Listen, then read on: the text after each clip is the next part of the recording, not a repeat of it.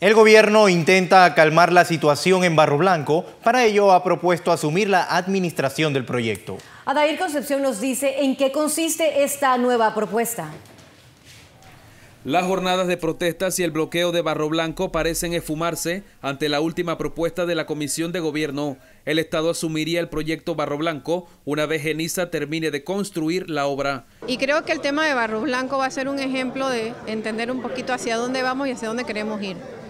Tiene que haber una decisión y tiene que tomarse ya. No podemos esperar más. Si el camino que han encontrado es ese, bueno, para la paz de todos, maravilloso. Pero creemos y consideramos que la seguridad jurídica se ha violentado y que el derecho a la libre empresa también se ha violentado. Y se ha violentado en función de favorecer unas minorías perjudicando a las grandes mayorías del país.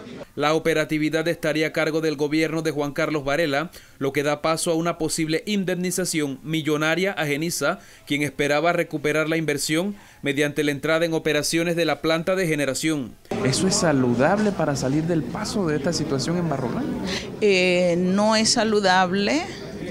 Eh, se está ocultando porque que el Estado tome el control no significa que el Estado vaya a ejercer la actividad económica, sino que nosotros sabemos los otros mecanismos de privatización, pero independientemente de ellos, asumiendo que fuera el Estado, hay una realidad concreta, y es que estamos afectando ambientalmente a los panameños y panameñas. Este mismo miércoles, indígenas fueron desalojados de la entrada del proyecto, el cual se mantiene paralizado desde el pasado 9 de febrero del 2015.